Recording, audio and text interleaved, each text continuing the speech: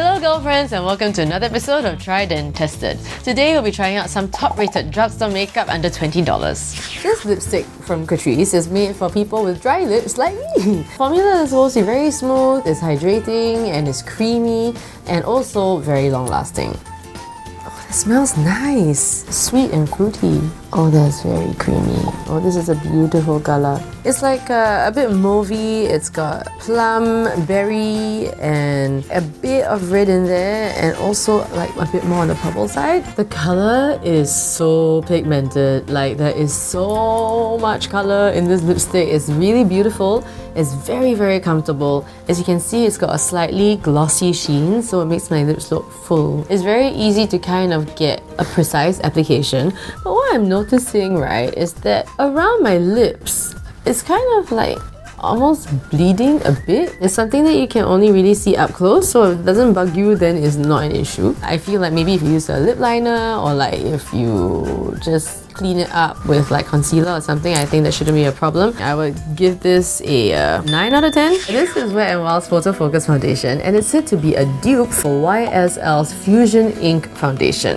And it's supposed to also have a light adjusting complex inside so that it prevents a white cast when you take photos. I want to say first that this is probably not my color. I'm currently wearing YSL's All Hours foundation mixed together with Marc Jacobs Shameless foundation. I am going to remove makeup on this side and try on the Wet n Wild foundation and then we'll just see how it looks. It's kind of the same as the YSL foundation in that there's an applicator like this. Wow, that texture is so fluid it is definitely the wrong color, but it's okay. We're going to ignore that and just focus on the foundation. When I first put it on, wow, it was like so liquidy. It was really easy to blend. So we took some photos with flash on both sides and the verdict there is that no white cast on either side. The one with the Wet n Wild foundation definitely looks fairer but that's because it's the wrong shade. But the one thing that I did notice about the Wet n Wild foundation was that it's actually really quite patchy. I think I would give this a uh, 5 out of 10 because like, I guess it covers stuff. You don't get the white cast but it's not a very forgiving foundation. This is the LB Smudge Gel Eyeliner in Jet Black. LB Cosmetic is from Tokyo and they are a brand that is known for their eyeliners. So this is a gel eyeliner that supposedly applies like a liquid eyeliner and is supposed to be sweat-proof, waterproof, tear-proof and sebum-proof making a beautiful line that lasts until evening without smudging or wearing off. Pretty basic packaging and it feels really light. It looks like a regular eye pencil the application on this is really incredibly smooth, like very, very, very, very smooth. It almost feels a bit oily. It says jet black, but I actually didn't think that the color was very, very black. So I had to go over a couple of times to make sure that it became the black that I wanted it to be. We'll leave it on for the rest of the episode and see how it does in terms of like the smudging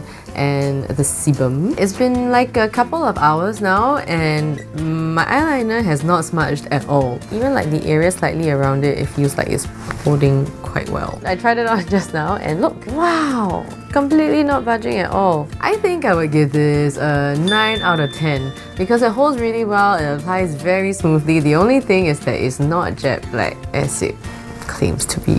Earlier on in the Cult Favorite Beauty Products episode, we tried NARS Orgasm and this is the Milani Baked Blush in Dolce Pink and it's supposed to be one of the dupes for NARS Orgasm.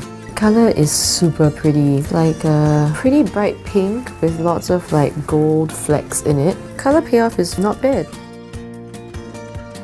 Oh that's beautiful Oh, it applies so nicely. Maybe slightly powdery, but very minimal. And um, I love the gold flakes in it. The way it catches light is so pretty.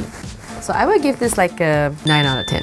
And since I have the NARS Orgasm with me, let's just try it out and see how it looks. I feel like the Milani one, it feels like it's a warmer tone. Now if you look at the NARS one, I feel like the pink kind of comes across as cool tone, but then you've got the gold that gives it a slightly warmer feel. So you have a mixture of like cool and warm, which is why I think it's such a beautiful universal color. Whereas this Milani one would be, I feel, more decidedly on the warm side. I do still think that the Milani one is a beautiful blush. This is the MegaGlo Highlighting Powder from Wet n Wild and this is a holy grail makeup product for lots of makeup fans and they come with a whole range of colours but most people recommend it Precious Petals. It's so buttery. Oh, that applies so smoothly. It is a beautiful highlighter. It's truly gorgeous. It looks really refined and like the texture is so silky that it blends right into the skin. Wow. This is so good. The highlighting strength is strong. I feel like when I use my finger to apply, it comes off a little bit patchy, so I'm gonna try it with a brush.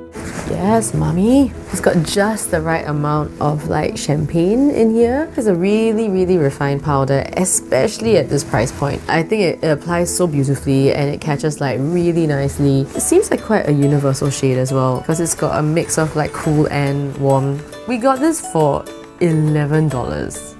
I think that is insane. It is so good. I would give this like a, a 10 out of 10. It's like precious, it's precious out of 10.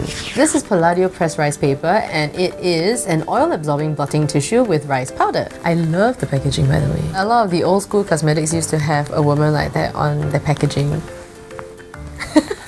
It says it's supersized, so it's a pretty big piece of paper. It actually looks a bit like old jotter books we used to have like the brown color cover. It smells like quite slightly flowery and fragrant. So one side is your regular blotting paper and on the other side you have your powder for touching up. And the unique thing about this is that it's made from rice. So as you can see my nose here is quite shiny. I'm gonna try blot it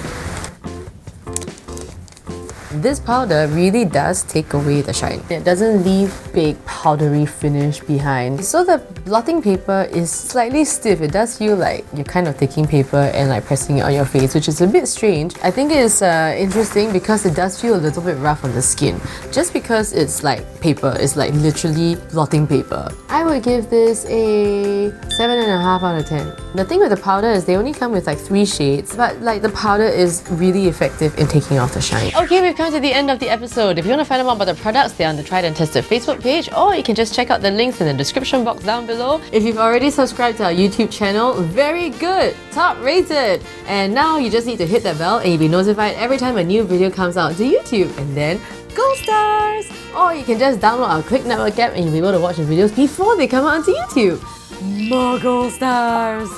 Alright, till next time. Mwah. Go be beautiful!